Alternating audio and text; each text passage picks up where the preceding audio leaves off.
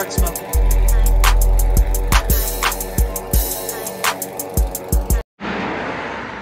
What up, fellow line guys? Give you guys a little tour of the equipment.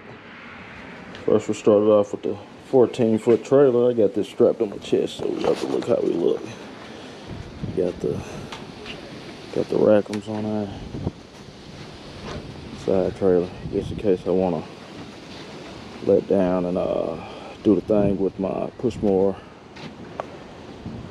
And we get some of this first, you know we can't start without the 21 inch Honda mower. Let's see if we can get down on and see what it is. Yeah. Yeah, I use this for a lot of my small yards. Everything's been been around. This was the Ferris mower I grabbed. This right here is a 48 inch first. And when I say I love this thing, first mower I ever grabbed, bought a used Got the discharge on it. Ugh. It popped up and doing some leaves here. It's my first baby that I bought. Love them. 48 inch. And you know I only ride. Uh, get some of this dust off. I only do the Kawasaki's, guys. I don't know what you guys ride, but I only do Kawasaki's on my mowers. Next, here we go. We got the 61 inch Snapper Pro. Let me come around this way. This is a more about my second year, which was last year. And I bought it right before I bought another used mower. I'm going to show you in just a second. It broke down on me. And this is my Snapper. Sorry, kind of tight in here, guys, in my garage. It's a 61 inch deck Snapper right here. It's my big boy I pull out when I want to hit my big, big yards. This is my my other backup right here. This is a Toro. It's a 52 inch Toro Z Master. I need to go down to hours for you guys. So I bought this used. 380 hours on that one. I think I got about 45 hours on the snapper right here. It's brand new pretty much. And on my Ferris I have uh oh, 501, right at 501. Got my three gas gas cans. Extra bike for one of my nephews when he want to come over, dust that thing off, let him ride it. Got a, a propane can. I said propane. Excuse me, fellas. Earth can just in case I run out of air. Got that just so I put some air in it. These tires go flat sometime on these zero turns. Uh, little shovel, little rake, little ladder over here. Nothing too big. This right here I was given to me by one of my clients. And it is, hold on one second. Oh. It is a Toro chainsaw, which is a, it's electric. It was given to me, so why not take it? Customers gave it to me brand new. I actually used it a couple days ago.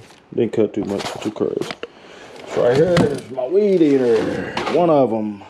Had one last year. And I'll tell you a story about it. It's a crazy story. Alright. So here's my weed eater. There's the Red Max. BCZ 260TS. And I got the speed feed head put on it. So don't don't laugh at that wire I got in there. That was the end of season last year. Stop it by. It was like one of my last jobs. I stopped through something out real quick. Uh, ran at a bullshit, bull crap store, bullshit store. Excuse my language, but bullshit is what we're gonna say over here with men. All right. Now, my other, I had a Husqvarna weed eater and uh last year it jumped off the damn trailer, man. I didn't lock it on the rackums. And it jumped right off the trailer down into a big ass pit and it was nothing I could do a thing, just I lost it. So I'll be good buying another one soon. I'm probably gonna go Red Max. I fell in love with these Red Max now. Uh it's right here. First uh, little blower I started with, a little Husqvarna, none too big, none too fancy. I think this is like the smallest one you can get. See the Kawasaki again. it's all alright. Got nothing else but the Kawa, baby. Then here's my other blower. Uh, let me get over this. My long legs on this. My other backpack blower.